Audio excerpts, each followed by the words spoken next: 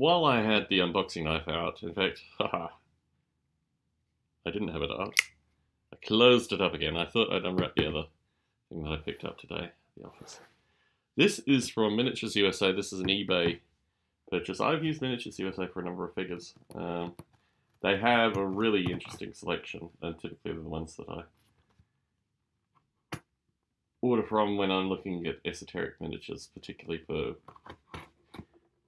painters to paint. Really looking for older miniatures. These I don't think are that old. I can't actually recall. I know what one is, but I can't remember what is. To my life. They were just sitting in my eBay cart, I thought, eh, I'll buy them. Reading a book currently about Che Guevara, and picked up a magazine from 1958, a Look magazine, where he was interviewed, and picked that up for like I don't know, a tiny amount of money, not a lot of money. And I had these two things in my cart, and I just thought, hmm, clearly some late night thing that I put in there. Would it be too esoteric if I actually purchased them? And one of them I just absolutely love. In fact, can I do this? I don't think I can do this. I think I've shown my Furies actually on the Monty's Review channel previously. But yeah, I had some kind of Demon Furies, old Fred Reed commissions. So I've already let them, the cat is out of the bag. The paper is out of the bag at least. Let's uh, see what we can do with this here. It's not going to be too dexterous. The paper is out of the bag. So,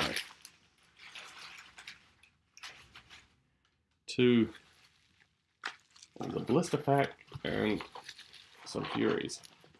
Oh, they remember me. I say thanks again. Yeah, I've ordered from these folks for probably a few years now. I normally order like really esoteric old blisters that no one ever sees. I've got some um, fellow called Mark Waxglen, I think Max. Max. Anyway, he uh, he featured in my painting video.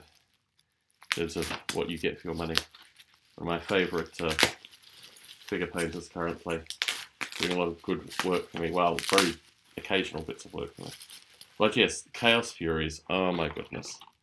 These actually, uh, do I dare take them out of the, I've got to take them out of the plastic because they're running, they're, that sound is not a good sound. And I'm definitely going to have them painted. So here, I'm even going to unbox them from the plastic to see what kind of state they're in. Because I want to get them out of the plastic.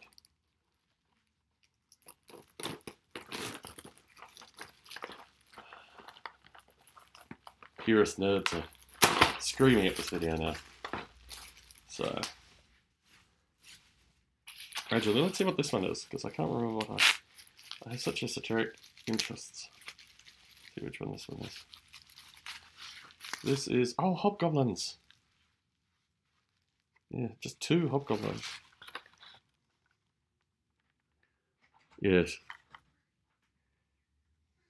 Yep my cat trying to break in as I'm filming a video here, but we'll, we'll work through that. Oh my goodness. Can I actually get my hands to work? Some dimensional fashion. So yes, a bunch of old hobgoblins. As I desecrated the box, let's take it one step further. Are these American? It's an American pressed box. You can see how